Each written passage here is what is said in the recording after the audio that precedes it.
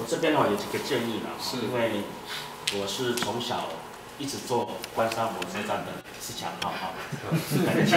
刚刚开始有火车的时候，那那火车跑的时候我们还可以追哈，以前的火车是这样，所以我一直都没有离开过关山跟海端。是，那么这个过程里面呢，我当然跟关山火车站是有密切的关系，一直到现在为止，我一直都在关山工作哈，已经快二十年了，是关山关山镇。那我所看到的关山一直一直到现在，从以前到现在的这个过程里面呢，我我有这个感触了哈。那火车站是越改是到最后是，我是觉得是，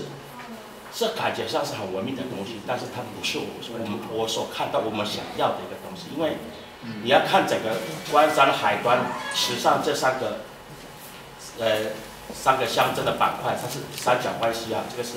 都有互动的。那它这三个三个乡镇，他们的主要来主要的地方是以务农为主，是种稻子啊。那么这个地方呢，又有各个族群的一些族呃不同的族群存在。那我们在设计这个火车站的时候，刚才有一位讲到是，是不是可以把火车站当做是一个地标来去操作？它这基本上就是对，当当然，如果说以这样的现现阶段这样的东西的话，其实它成不了地标的。啊，那我们要怎么去去思考说，怎么样让它变成是一个地标性的一个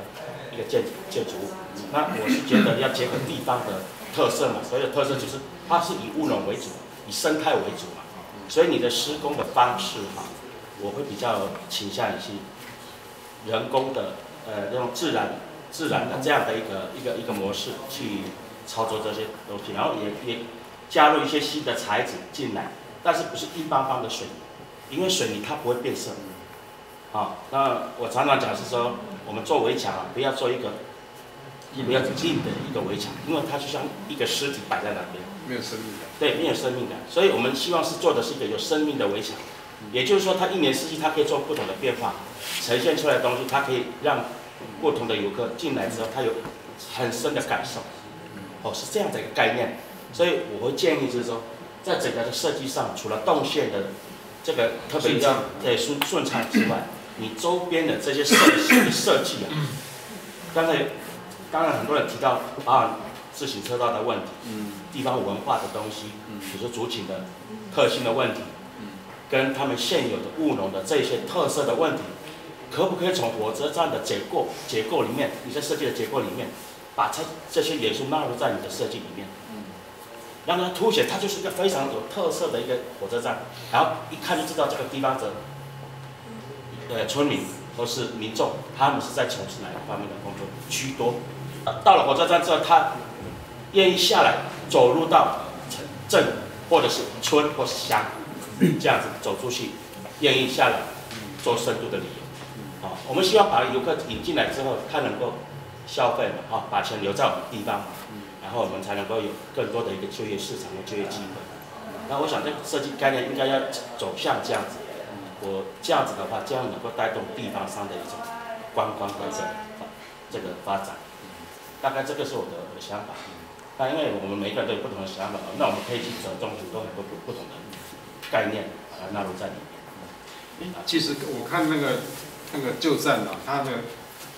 路看过去对面是那个分局嘛，分局，分局那分局看过来是车站嘛，它在这个过去的日本人做的都市计划里面，它是有这样的布局，跟路野有点像，啊，鹿野站出出来也是一个那个派出所在前面这样，那当然那个部分是有一定的那个一种呃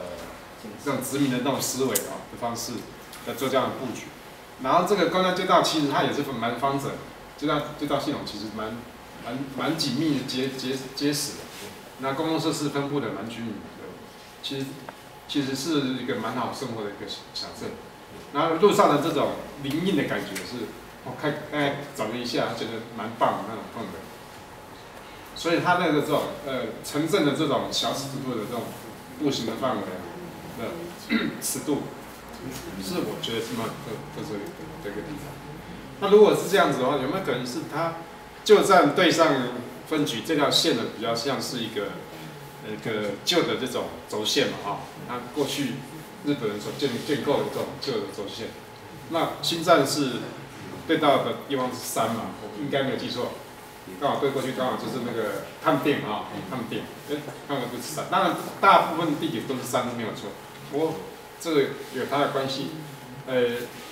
然后走出来感觉是那个站前树很多，就是当然黑板树不是非常理想啊，我们呃更希望看到的是其他枫树或者是呃其他我们在地的这种树种。那诶，好像是在这个旧站这边比较是